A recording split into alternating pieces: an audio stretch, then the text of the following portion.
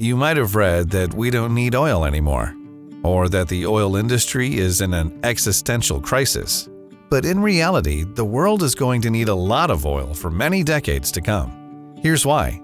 Oil is most commonly associated with gasoline, but did you know that 55% of petroleum demand is non-gasoline? Petrochemicals represent as much as 15% of petroleum demand and are used to make more than 6,000 everyday products, many of which are absolutely essential. Without oil, healthcare workers would be without dozens of tools that save lives. Computers, smartphones, and a myriad of tech gadgets would not exist, and even renewable energy infrastructure could not be manufactured. 20% of petroleum demand is distillate fuel, primarily consumed as diesel fuel.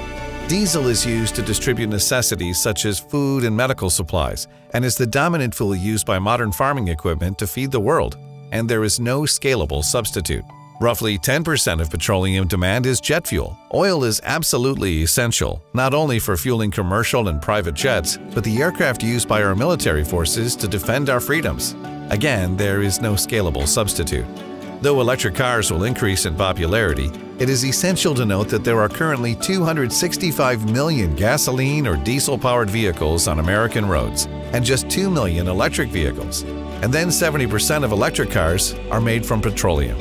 Oil is also used to make asphalt, synthetic rubber, and many other products we take for granted. The wide-ranging and essential use of oil is one reason that even assuming widespread compliance with the Paris Climate Accords, the world is still expected to use 67 million barrels per day in 2040. The world is going to need a lot of oil for many years to come. That said, it is better to produce as much as possible here in the United States and continue to reduce our foreign imports. Find out more at iprb.org.